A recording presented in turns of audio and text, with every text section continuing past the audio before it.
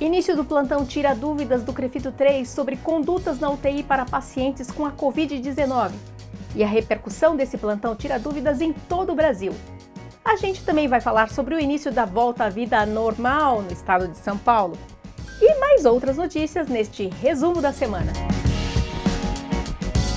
Nesta semana, os coordenadores da Frente Especial de Fiscalização do Crefito 3 começaram a receber as dúvidas dos profissionais sobre condutas na assistência aos pacientes nas UTIs nos casos de Covid-19.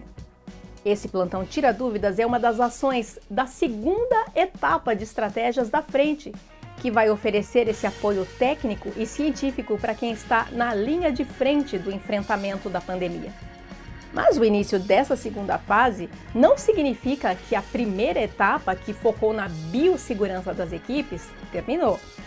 A frente de coordenadores continua vigilante para essa questão da oferta de EPIs nas instituições. Na quarta-feira, dia 27, o governo de São Paulo anunciou as medidas que vão ser adotadas a partir da próxima semana em todo o estado para o início da flexibilização do isolamento social e para o fim da quarentena, que ainda segue até o dia 15 de junho. As atividades econômicas vão ser retomadas em etapas. Mas o governo conta com a colaboração de todos para garantir que não vai ser necessário decretar uma nova quarentena.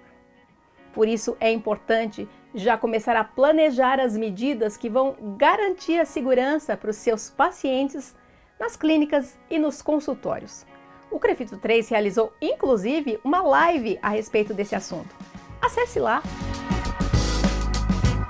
Depois de muita desinformação, parece que a novela sobre a isenção para profissionais de saúde no rodízio de veículos da capital terminou, mas não com um bom resultado.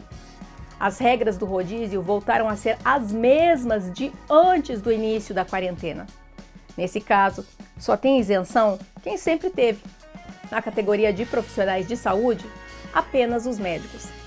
Segundo a Prefeitura, na semana de 11 a 15 de maio, quando valia a isenção para quem se cadastrou, as multas aplicadas não vão valer.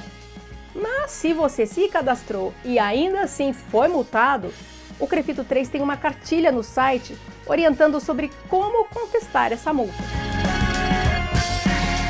Faz só uma semana que o Crefito 3 divulgou o canal para que os profissionais que estão prestando assistência nas UTIs aos pacientes da Covid-19 enviem dúvidas sobre procedimentos, sobre condutas. Em apenas três dias, o Crefito 3 já havia recebido mais de 50 pedidos de ajuda para resolver essas dúvidas. Cerca de 70% eram dúvidas de profissionais de São Paulo. A boa surpresa foram os pedidos de esclarecimento de dúvidas vindos de fora de São Paulo. Profissionais de estados do Sul e do Nordeste enviaram perguntas que já foram respondidas pelos especialistas da Frente Especial de Coordenadores do Crefito 3. cada semana, mais profissionais procuram e acessam as lives que o Crefito 3 está realizando nas redes sociais. Mais de 20 mil acessos às mais de 50 horas de transmissão que começaram junto com o início da quarentena. Isso mostra o quanto os profissionais estão com sede de informação.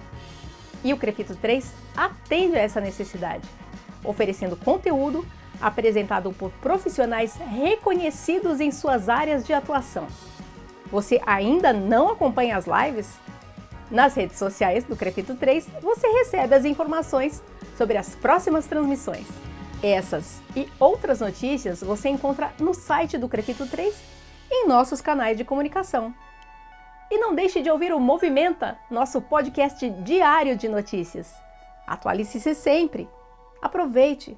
é tudo para você.